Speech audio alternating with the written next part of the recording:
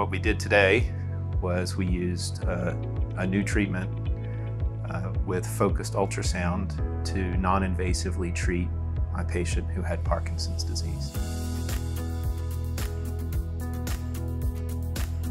The procedural technique involves placing a frame around the person's head. So imagine a metal ring like a halo, and that attaches to the person's uh, head with some pins after local anesthetic is given.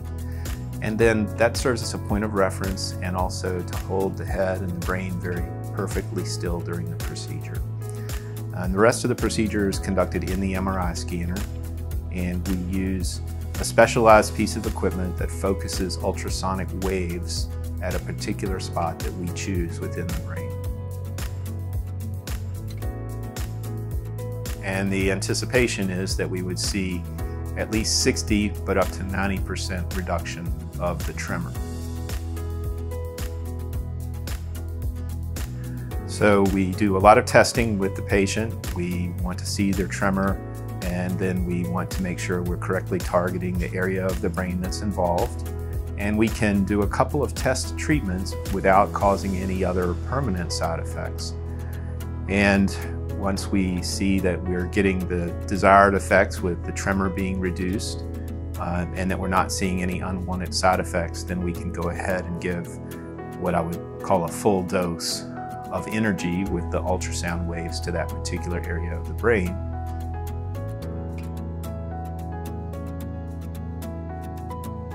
anytime we see such an obvious visible change in the person's neurological function and such a, a life-changing improvement, I, I just think that's emotional.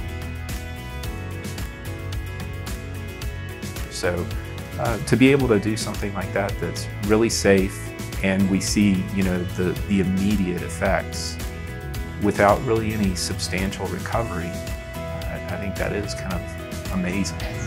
Let's go back in and do the lap. Let's get it done while we're here. It's easier than anticipated. Actually, I didn't experience anything negative, no severe pain, nothing. I'd say it went 100% like it should have. Uh, advice is to seek out the closest uh, institution that provides this care. And if it's Riverside, you shouldn't have a problem. Dr. Salvin's a good guy. I would recommend anybody to have it done, and I'm going to have the left side done as soon as I can. Patients now are becoming very savvy. They're self-educating.